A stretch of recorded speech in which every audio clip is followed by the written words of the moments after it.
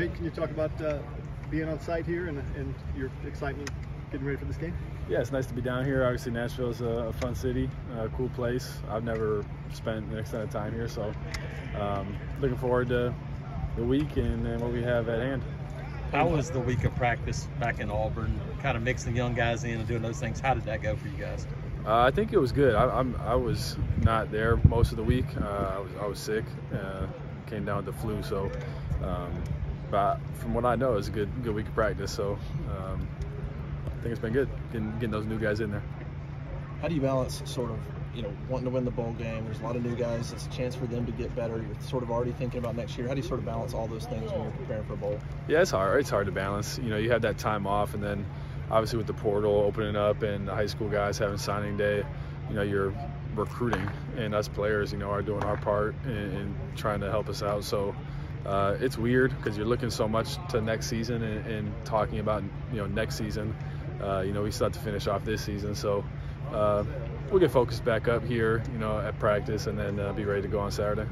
How, how are you feeling after dealing with the flu? You feeling good now? Uh, yeah, I'm feeling pretty good. So I don't, I don't think that'll be an issue moving forward. On the on the helmet communication topic, is that something you know? I, I know Auburn's not using it now. Something that you'd like to see kind of moving moving forward at some point in the future? Yeah, I think it could be cool for college football. Uh, you know, college is kind of behind the NFL and high school in terms of like technology usage. Um, so uh, the biggest thing I, that I want uh, is the iPads or the you know surfaces on the sideline. I, I, think we have that, so that's what I've heard. Um, so that'd be cool to see next year uh, development for for college, but um, yeah, I don't, I don't know what where all that stands to be honest. How, how, valuable is the experience of playing in bowl games before when you get to this setting and you have a couple of days to kind of fine tune everything? You've been through this before. How valuable is that?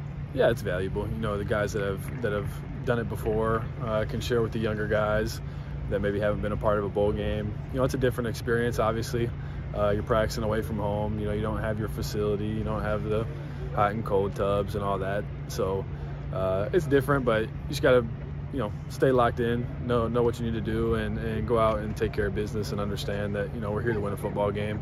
You know, this isn't vacation, so uh, we'll have a good time, but you know we're here we're here to play a game.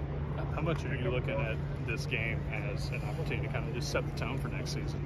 Yeah, it definitely is. Uh, you know, Coach Freeze was saying with you know a lot of guys playing that maybe didn't have a ton of a ton of reps this year. Uh, it's exciting. You know, some people are nervous about that. You know, across the country, you know, for certain teams, I'm sure. But uh, for us, I think it's exciting to see uh, what we got moving forward and, uh, you know, get some of those guys to get a feel for the game and, you know, get, get a chance to make their first impression.